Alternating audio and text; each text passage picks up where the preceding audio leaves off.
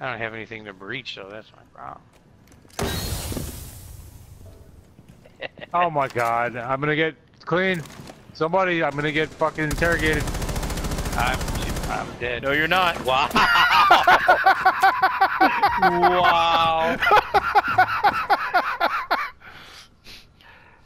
Jeez.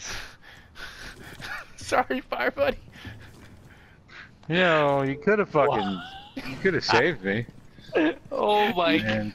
god.